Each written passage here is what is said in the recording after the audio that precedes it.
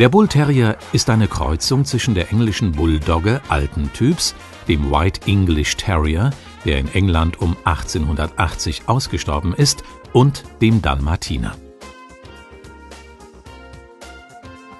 Der Standard Bull Terrier wird in den meisten Bundesländern in der Liste der gefährlichen Hunde aufgeführt. Das bedeutet, dass der Import und die Zucht in diesen Bundesländern verboten sind. Des Weiteren sind an die Haltung besondere Bedingungen geknüpft. Durch einen Wesenstest kann der Hund von den Maßnahmen befreit werden. Für Bullterrier gibt es im Rassestandard keine Größen- oder Gewichtsbeschränkungen.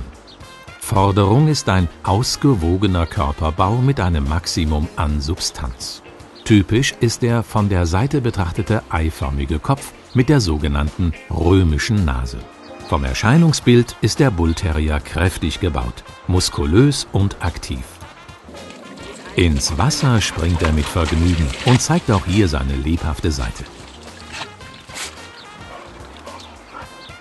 Der Bullterrier ist darüber hinaus für fast jeden Sport geeignet.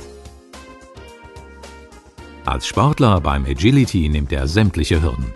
Mit der richtigen Anleitung weiß er, was zu tun ist Tagtäglich sollten genug Auslauf und Beschäftigung auf dem Plan stehen. Denn auch ein Hund braucht Aufgaben.